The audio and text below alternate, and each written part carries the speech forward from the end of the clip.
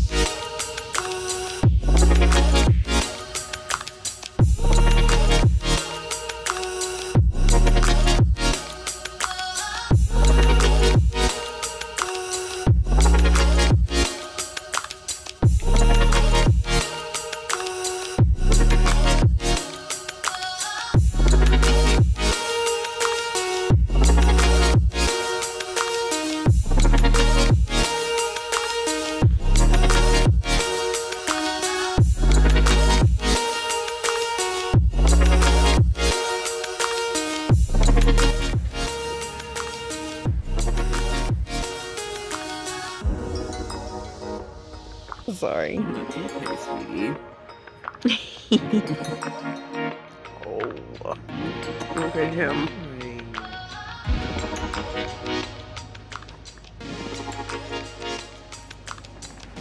Where you going?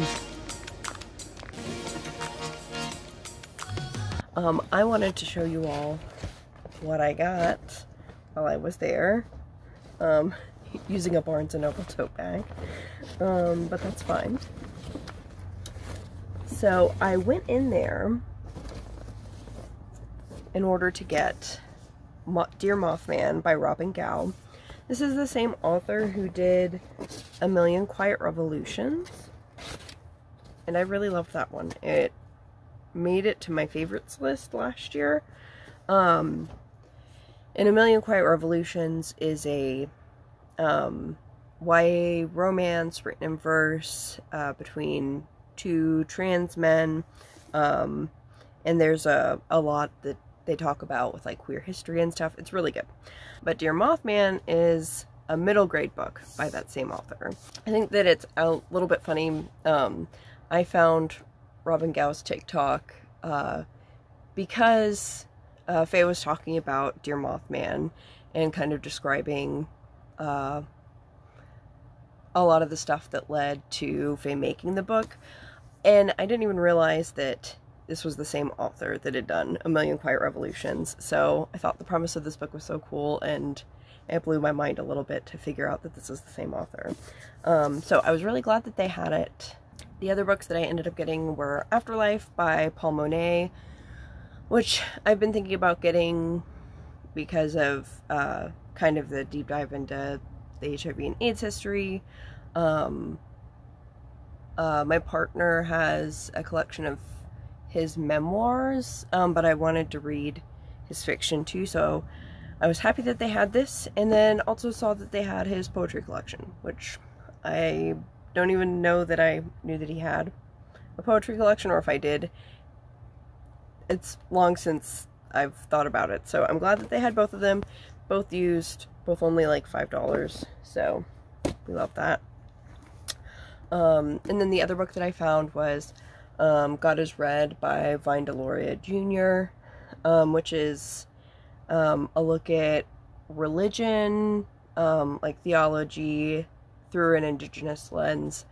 Um, I've heard of just a lot of really good stuff about this author in general. I haven't read any of of their stuff at this point, but I also have kind of a book list of uh, things around uh, theology, especially like especially theology developed by different oppressed groups, and this is going to be a really great addition to that. Um, I really need to get back into those at some point. Um, but in the meantime, I found this. And again, a used copy, which is great. So, that was my haul, plus free bookmarks. So that was my day yesterday. Um, today's going to be a lot of working, so I don't know if I'm going to read today or tomorrow. Um, because they're longer days, but if anything happens, uh, at least my camera will be the first to know.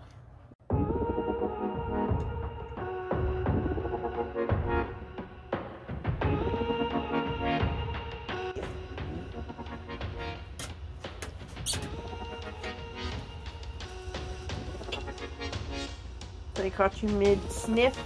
Catch you mm-hmm. mid sniff. Nasty kid. Yeah.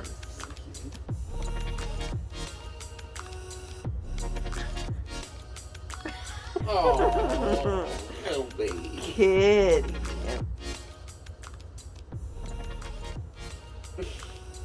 It is March 11th now. I have not finished anything yet the second week of Pride, but uh, the main goal that I have for today is to reach the halfway mark of real life. And I'm not really too far off. I'd say I'm about a third of the way through. Uh, maybe even a little more than that. And then after that, um, I think I want to try to get a ways into either queercore or Man of the Night Sweats. I'm thinking probably queercore just based on kind of how I feel right now. Um, I'm feeling more that than poetry, but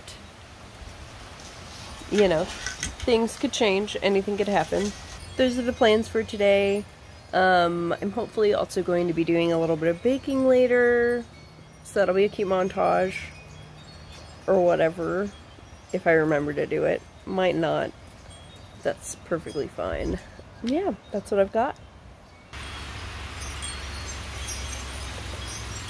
Looks like a good stopping point at the halfway is closer than I thought.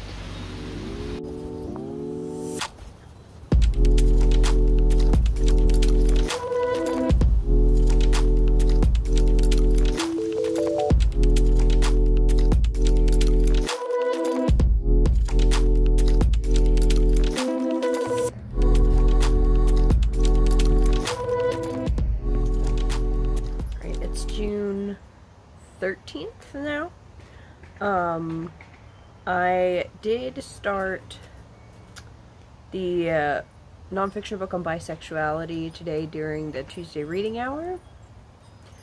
Um, and it's good so far. I don't really have very many notes. It's interesting, very much up my alley. If it had been written prior to like 2018, it definitely would be something I would have ended up having to cite in my thesis. Uh, so it's very much, I'm very familiar with um, a lot of stuff like adjacent to it, but I'm still also learning some new, um, new things here and there. I'm not really feeling reading right this second. Um, so I think I'm just gonna crochet outside. At some point, I might put on an audiobook. Uh, I, I, I don't know though. I don't know. We'll play it by ear and we'll see.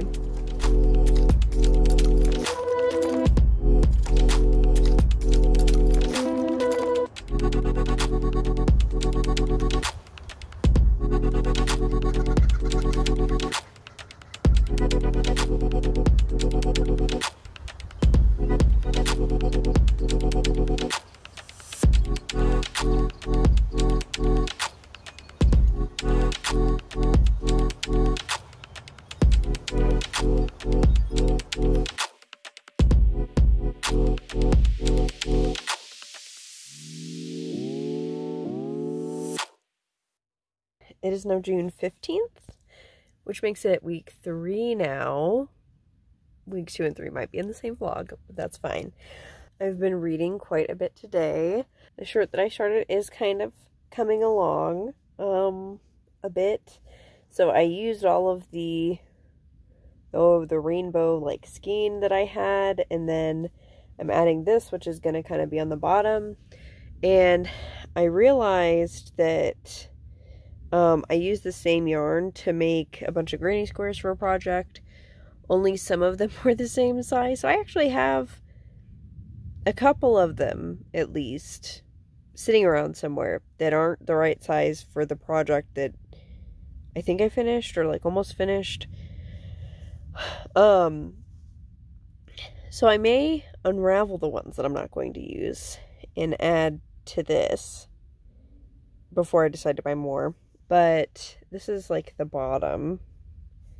Uh, and then I'm going to do, like, I'm going to make this a little bit bigger. It is going to be like a crop situation, I think. But, uh, still definitely needs some more width. Um, but I'm going to, like, maybe add some to the top with the black and do, um, like the straps or sleeves or whatever. Um, so there's that. And this morning while I was crocheting, I started the audiobook of Elatsoe, which is a YA fantasy um, with an asexual indigenous main character who can see ghosts um, and has a dream about a recently passed um, uh, relative and uh, he says that he's been murdered, and then she kind of goes on to figure that out, avenge that, or make sure that the rest of the family doesn't get hurt. It's pretty good so far. Um, I don't have too many thoughts necessarily. Um, but uh, I definitely think that I'm going to be listening to that more I crochet. Um, but I also have gotten more into queercore, which I'm, it looks like I'm a little past halfway, but a lot of this is actually like reference and glossary, so I'm really about a third of a way from the end. And it wasn't until like I was already several chapters in, but less than halfway through um, that I realized that there's actually a glossary that tells you who each of these people are, which would have been great to be referencing since the beginning of the book. Uh, because one of my biggest grievances was that I don't know who half of these people are. Um, without Googling them. Granted, the bios are very small, but I would at least have a reference. I still maintain that there should have been more of like a an introduction to each piece or like some sort of commentary just because like as much as you know you can get like some idea of who someone is from saying oh well they were in this band in this state. Like i would like a little bit more especially as they're talking about the political stuff in here. Um and i know that it's hard because there are a lot of people they're going to have a lot of different political prerogatives. Um but so many people either like see their political prerogative in punk or queercore or put theirs like in what they make. But then there are also people who like I don't know if I am taking the same thing that they actually mean when they say this, but there's somebody who even talks about them not wanting to be political in a certain way um which just like does not compute in my head.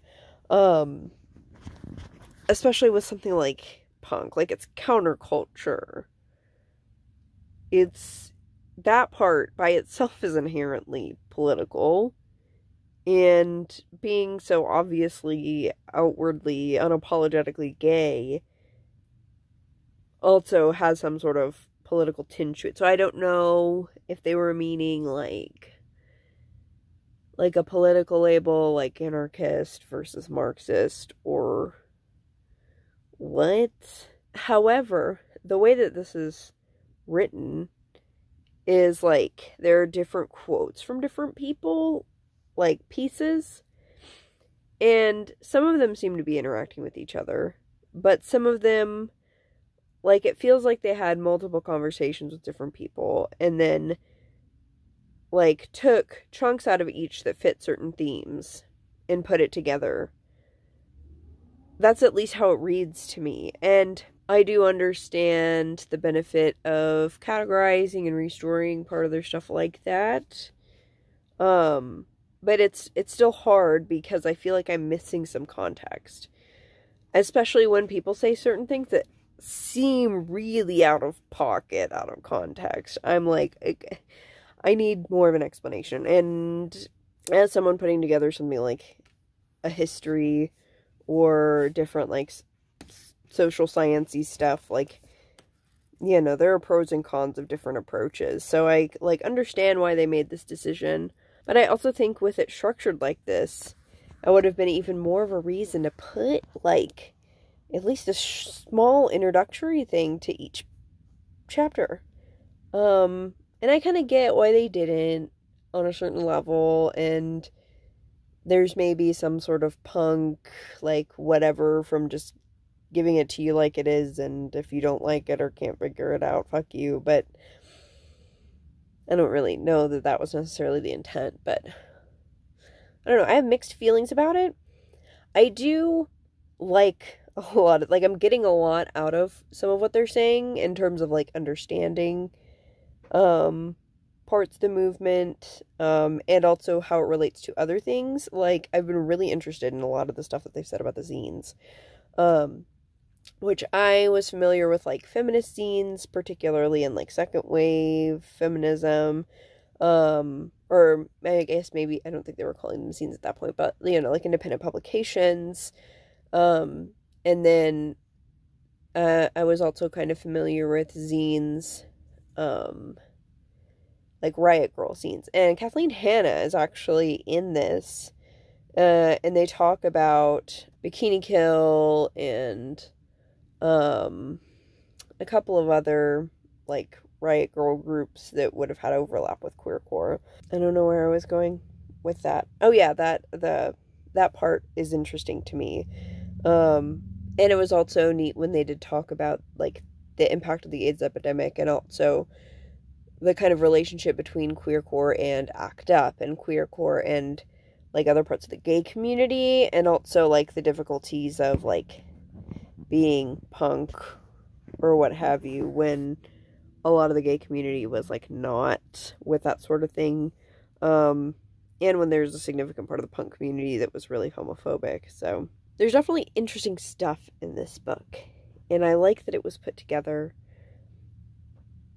even though i have a lot of criticism it's kind of like sometimes the coolest stuff ends up being the stuff that i look a little bit too closely at, I think, or like crit- critique more because it's like this thing is so cool and it's like so close to being like it's so close and it could have been more.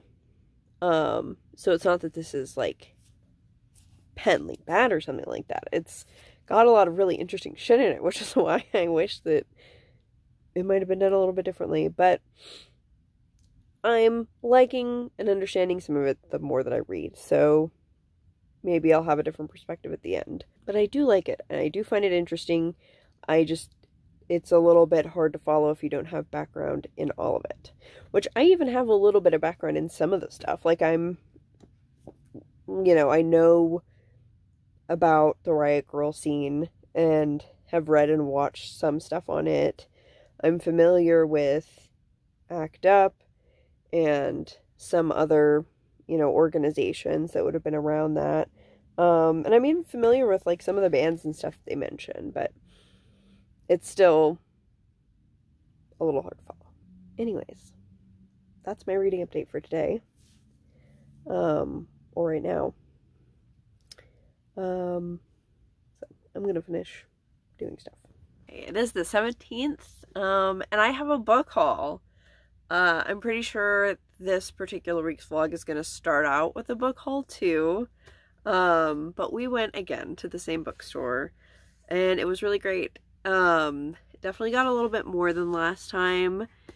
It is um, mine and my partner's anniversary, so we decided to splurge a little bit, or they splurged and got me bookies. So, um, I'll show you what I got.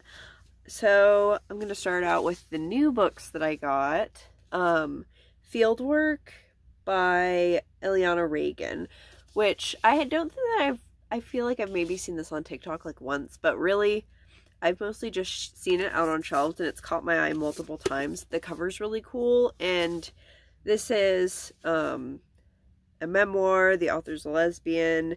And this kind of talks about the COVID pandemic, which is a little bit like harsh, but it's also got to do with her like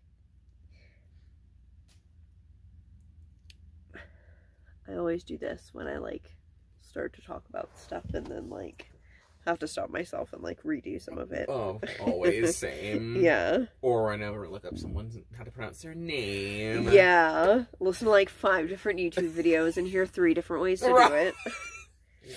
And this is looking at the author's experience foraging, like for mushrooms and across the land and stuff like that.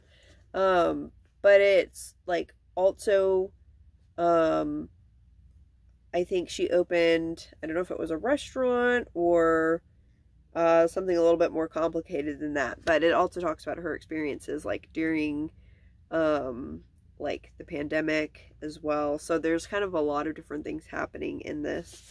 Um, but it seems like a cool book. And then I think the only other nonfiction book that I got, I think, um, is Gender Magic Live Shamelessly, Reclaim Your Joy, and Step into Your Most Authentic Self by Ray McDaniel, which is a book about gender by a non binary uh, gender therapist. And they're kind of positing a new sort of way to think about gender. So, another sort of like gender model that centers joy.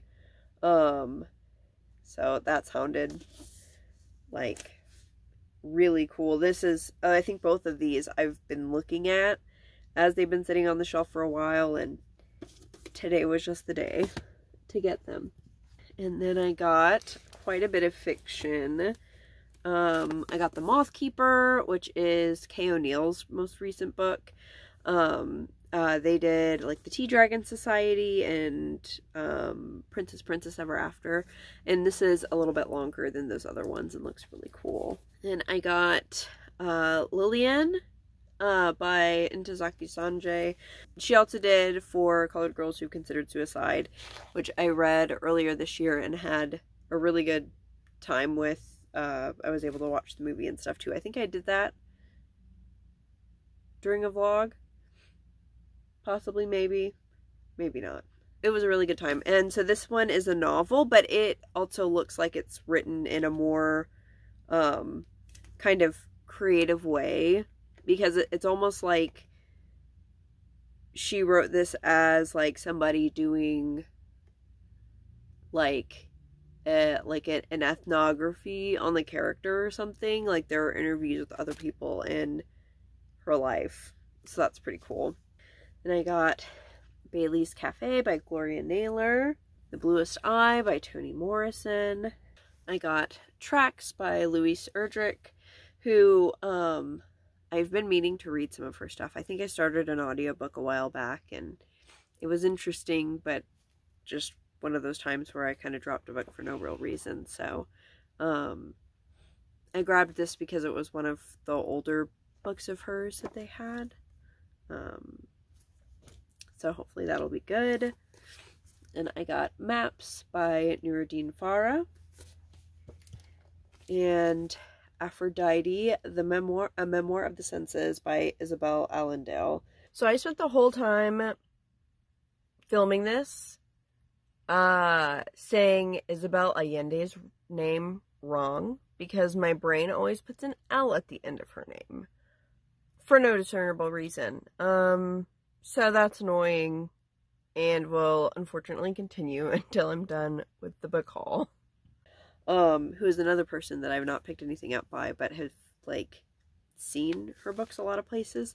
This one looks really interesting, and it's another one where it's like really, like the way that it's written looks really interesting. So, like, there are pictures in here, but also recipes. I'm just gonna read a piece of the blurb because, I mean, obviously I haven't read it, so I don't know how to talk about it, but it just seems really interesting. Elizabeth Allendale brings her magical storytelling powers to a highly personal and charmingly idiosyncratic look at, at the intertwined sensual arts of food and love, blending personal reminiscence with folklore from around the world, historical legends, and mem- memorable moments from literature, erotic and otherwise.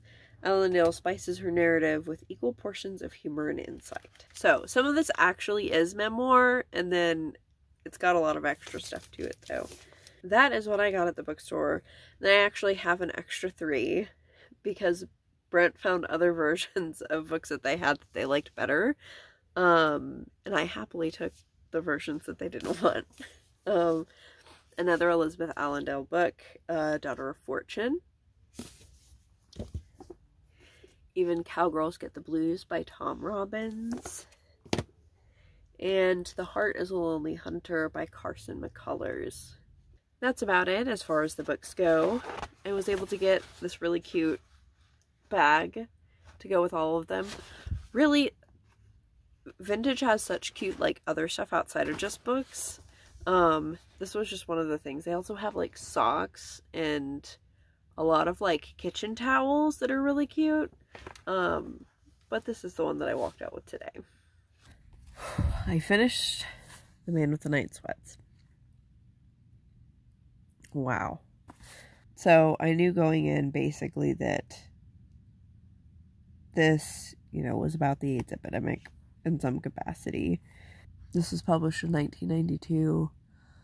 Um, I looked up some things about the author, and while he didn't have AIDS, uh, he was gay, he was in the community, born in Britain, then moved to San Francisco, and was it, it, it's unimportant which art movements he's a part of at the moment, and I honestly couldn't recall totally. But this collection is very much about community and connection and what it was like being in community or witnessing community at this time. And wow.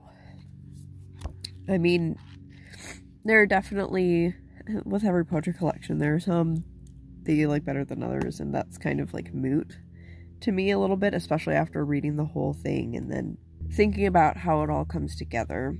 There are four chapters uh, that have, you know, a collection of poems within each. And the first part is about the, like, experiencing connection, like, on an individual level, stuff about, like, one on one things with, like, um, romance or friendship um, or isolation oftentimes a combination um, in general, the whole collection, I, it ranges from melancholy to depressing, uh, for the most part, understandably. And then, uh, so the first part is about individual connection. The second part is actually only one poem long and speaks, I guess, volumes about the collection in general, but especially about where the kind of last two chapters are going to go.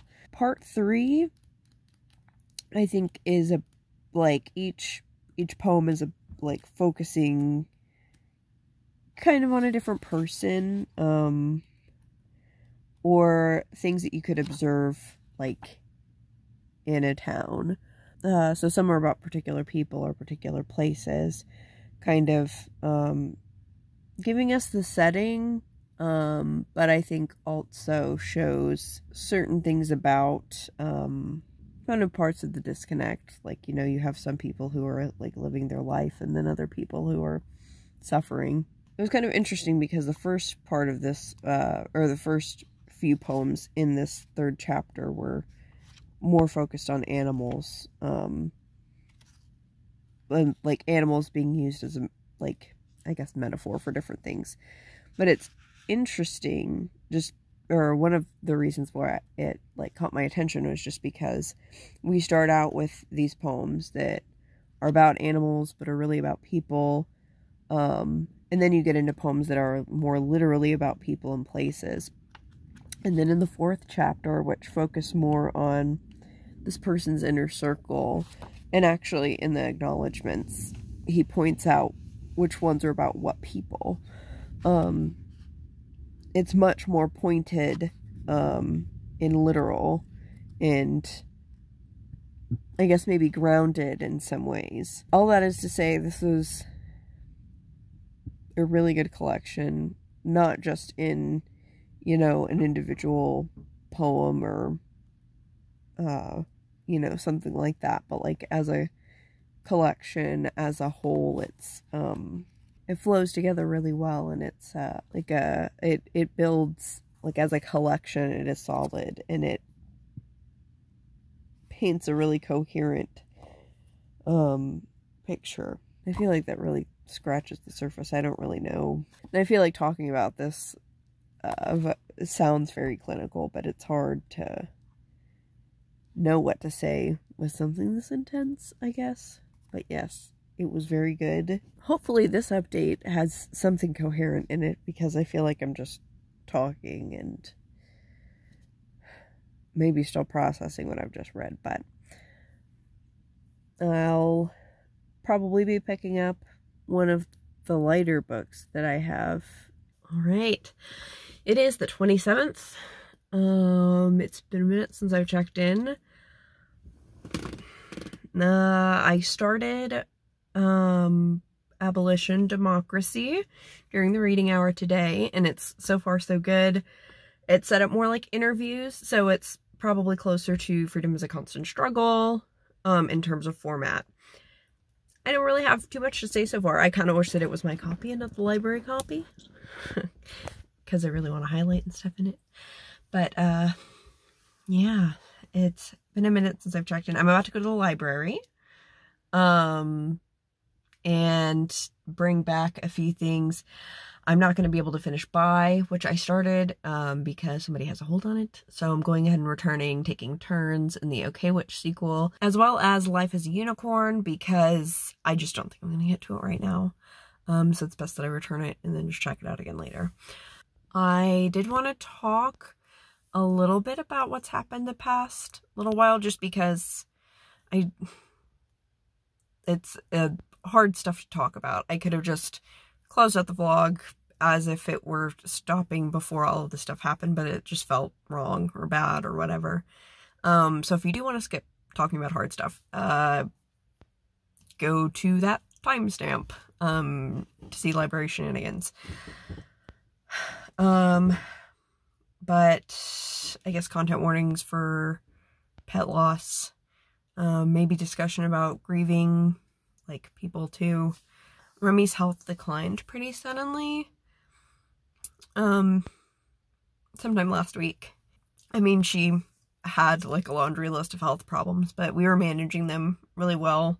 Um, yeah, like everywhere that I brought her was like, wow, what was seizures. And, um, you know, we've managed them for nine years. And then on top of hyperthyroidism the past few and, uh, then kidney disease kind of starting in the background, but um, the doctor suspected that she had lymphoma that was hanging out. She stopped eating, but she was 15, 14 or 15, we don't really know.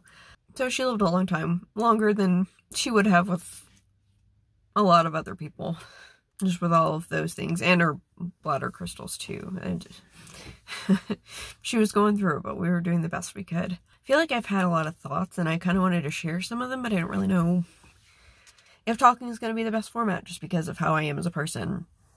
Um, but it's, you know, in the beginning of my last video, I talked, or at least the last vlog, I might, might put up another video by the time this one comes out. Um, I talked about how I didn't really want to talk about the break that I had, um, because it's hard stuff. Um, uh, but I think that Remy dying is also brought up a lot of like the, like, somatic like feelings of grief that I haven't processed. Um, my stepdad passed away at the beginning of April, and it feels wrong not to mention something like that. Um, just like it feels wrong to not mention Remy, who's like in the videos and stuff like that. I don't know, I've been thinking about so much, but it's hard to articulate. But I think that happening so recently made the process of grieving for her that much more difficult because of those, you know, I did mental processing, but I don't think I did the physical processing. I I'm a Pisces. Follow me. I promise this is leading some this is going to lead somewhere, not just abstract um astrology shit, but I'm a Pisces, so I'm naturally a crier. Uh but I'm also have an Aquarius moon, which means that like vulnerability and emotion is like I try to like be contained, I guess, or that's like my automatic is to just shove things. Um so like I can cry over a dog video and like talk about that pretty freely, but when it comes to something that's actually vulnerable, it's much harder. So I guess that's something not just to work on, but it's just something that is and you know, I like the idea of actually being able to talk freely about stuff just in general and um so I guess that's maybe why I'm putting this in here, but um and also to kind of explain how you know, I think losing a pet is always hard, but, you know, first of all, she was special and like so much of my life revolved around her. It's more complicated with a recent person death. And then my granddad, who died in 2018, a lot of stuff around his was traumatic. Um, you know, he took care of her and paid for a lot of her stuff. Needless to say, there's a lot of processing happening. Um, but I didn't want to just act like nothing was going on because that's my default is to do that. So we're having a little moment here. Um, uh, but we're gonna go to the library. I say we, it's literally just me. Um, I'm gonna go to the library, gonna turn in some books, do a little bit of browsing since I have some time. Um, and hopefully it will be nice. The chances of me finishing some of the books that I'm working on currently are slim, at least at the moment. Like, I started a lot, so a Ghost Dogs, I, I think I'm gonna have to put that down. Um, I do want to finish Queer Core. What else am I reading? I started Bi, but I can't finish that.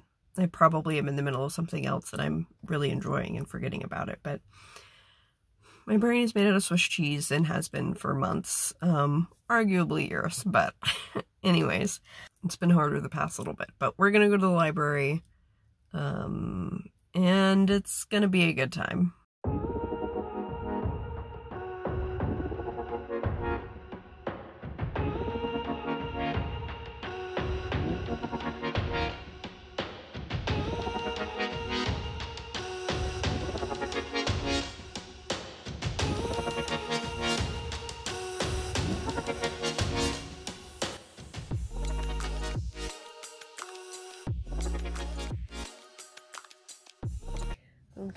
Have returned from the library.